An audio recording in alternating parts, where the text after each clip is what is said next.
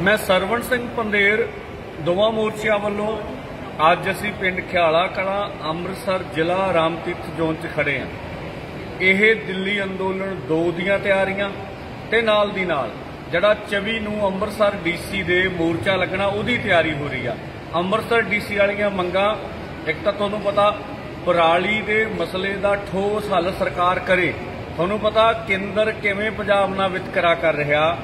ਪ੍ਰਦੂਸ਼ਣ ਦੇ ਨਾਂ ਤੇ ਕਿਸਾਨਾਂ ਦੇ ਸਿਰ ਕੇਸ ਮੜ ਕੇ ਰੈੱਡ ਇੰਟਰੀਆਂ ਪਾ ਕੇ, ਜੁਰਮਾਨੇ ਪਾ ਕੇ ਕੇਂਦਰ ਦੀ ਅਫਸਰਸਾਈ ਨੂੰ, ਕੇਂਦਰ ਦੀ ਸਰਕਾਰ ਨੂੰ ਬਹੁਤ ਖੁਸ਼ੀ ਹੁੰਦੀ ਆ।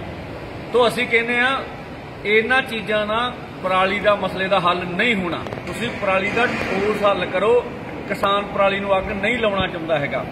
ਦੂਸਰਾ, ਸ਼ਹੀਦ ਪਰਿਵਾਰਾਂ ਦੀਆਂ ਨੌਕਰੀਆਂ, ਸ਼ਹੀਦਾਂ ਦੇ ਨਾਂ ਤੇ ਰੋਟੀਆਂ ਤਾਂ ਸੇਕ ਲੀਆਂ ਪਰ ਨਾ ਉਹਨਾਂ ਨੂੰ ਦਿੱਲੀ ਅੰਦੋਲਨ 2 ਦੇ ਵਿੱਚ ਮੁਆਵਜ਼ਾ, ਨਾ ਨੌਕਰੀਆਂ ਮਿਲੀਆਂ, ਪਹਿਲੀਆਂ ਨੌਕਰੀਆਂ ਵੀ ਰਹਿੰਦੀਆਂ ਇਹਦੇ ਨਾਲ ਨਾਲ ਜਿਹੜੀ ਭਾਰਤਮਾਲਾ ਯੋਜਨਾ ਤਹਿਤ ਸੜਕਾਂ ਨਿਕਲ ਰਹੀਆਂ, ਉਹਦਾ ਮੁਆਵਜ਼ਾ ਕਿਸਾਨਾਂ ਨੂੰ ਦਿੱਤੇ ਬਗੈਰ ਜਬਰੀ ਧੱਕੇ ਨਾਲ ਜ਼ਮੀਨਾਂ ਅਕਵਾਇਰ ਹੋ ਰਹੀਆਂ ਨੇ। ਉਹਦਾ ਯੋਗ ਮੁਆਵਜ਼ੇ ਦੀ ਮੰਗ ਨੂੰ ਲੈ ਕੇ ਵੀ ਅੱਗੇ ਆ।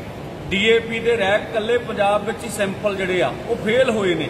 ਆ ਡੀਏਪੀ ਦੇ ਇੰਨੇ ਸਾਡੇ ਕੋਲੇ ਪ੍ਰਬੰਧ ਵੀ ਨਹੀਂ ਹੈਗੇ, ਗਾਹਾਂ ਇਹਦੀ ਬਲੈਕ ਹੋਣੀ ਆ। ਉਹਦੇ ਵਾਸਤੇ ਵੀ ਸਰਕਾਰ ਨੂੰ ਬੋਲ ਰਹੇ ਹੈਗੇ ਵੀ ਇਸ ਮਸਲੇ ਦਾ ਆਉਣ ਵਾਲੇ ਸਮੇਂ ਦੇ ਵਿੱਚ ਹੱਲ ਕੀਤਾ ਜਾਵੇ।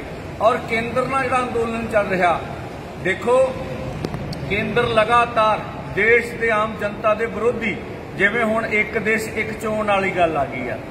ਦੇਖੋ, ਇਹ ਟੇਢੇ ਢੰਗ ਨਾਲ ਦੇਸ਼ ਦਾ ਫੈਡਰਲ ਢਾਂਚਾ ਖਤਮ ਕਰਨਾ ਔਰ ਟੇਢੇ ਢੰਗ ਨਾਲ ਲੋਕਾਂ ਦੇ ਜਮਹੂਰੀ ਹੱਕ ਉਚਲਣਾ।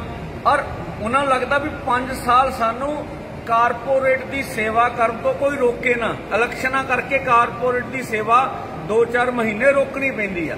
ਤੋਂ ਜਿਵੇਂ ਹੁਣ ਹਰਿਆਣੇ ਦੇ ਵਿੱਚ 22 ਨੂੰ ਪਿਪਲੀ ਦੀ ਵੱਡੀ ਮਹਾ ਰੈਲੀ ਜਿਹਦੇ ਵਿੱਚ ਲੱਖਾਂ ਲੋਕ ਉਸ ਰੈਲੀ ਵਿੱਚ ਆ ਰਹੇ ਨੇ, ਭਾਜਪਾ ਘਬਰਾਈ ਹੋਈ ਆ ਔਰ ਪੁੱਠੇ ਸਿੱਧੇ ਬਿਆਨ ਦਾਗ ਰਹੀ ਆ। ਔਰ ਜਿਹੜੇ ਤੁਹਾਨੂੰ ਪਤਾ ਮਾਲਵਿੰਦਰ ਸਿੰਘ ਜੀ ਮਾਲੀ, ਉਹਨਾਂ ਨੂੰ ਜਿਸ ਗੱਲ ਤੋਂ ਗ੍ਰਿਫਤਾਰ ਕੀਤਾ ਗਿਆ, ਉਹਦੀ ਨਿੰਦਿਆ ਕਰਦੇ ਆ, ਤੁਰੰਤ ਉਹਨਾਂ ਨੂੰ ਰਿਹਾ ਕੀਤਾ ਜਾਣਾ ਚਾਹੀਦਾ।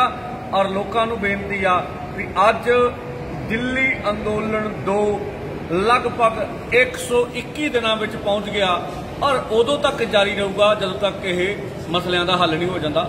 ਧੰਨਵਾਦ।